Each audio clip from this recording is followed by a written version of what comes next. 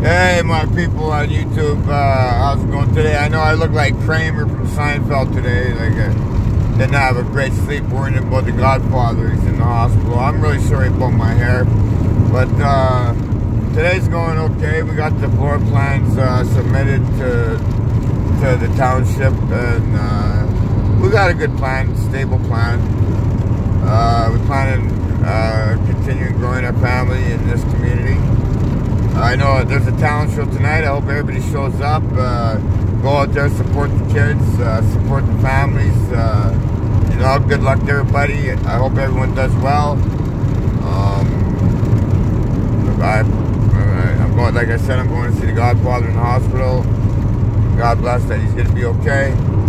Um, so yeah, everything seems all right today. Right on, right on, right on, man.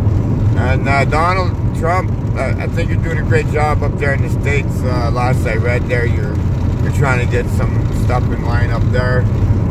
And uh, Justin Trudeau, um, man, come on, buddy, you gotta wake the heck up, man.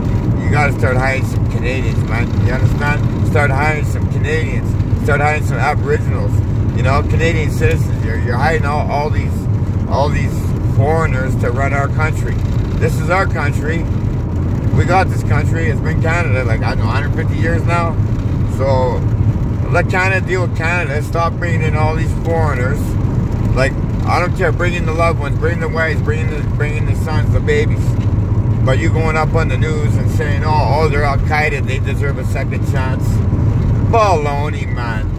You know what? Once Al-Qaeda, always Al-Qaeda. Study your Muslim shit. Amen. I, she, I still like them. Goodbye subscribe to my channel.